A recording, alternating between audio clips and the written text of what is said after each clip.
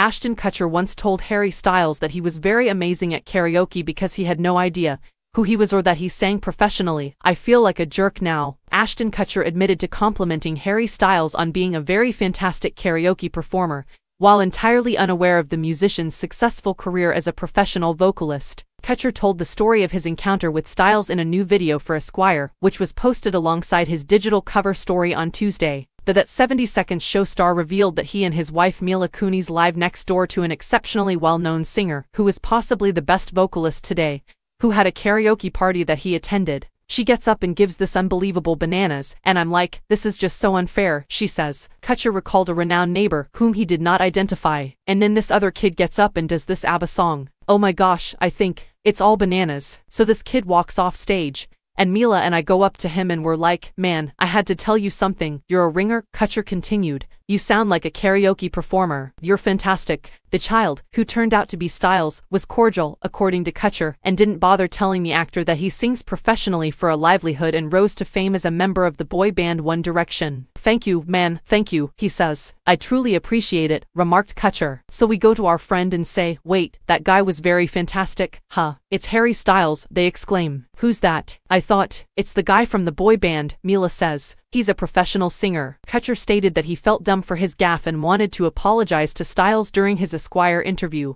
I was like, oh my gosh, now I feel like a jerk, recalled Kutcher. He's a professional singer, and we're trying to convince him that he's a good one. And I feel so stupid. So I just wanted to say, sorry Harry Styles, but you're extremely excellent at karaoke. Seriously, it's very, really good.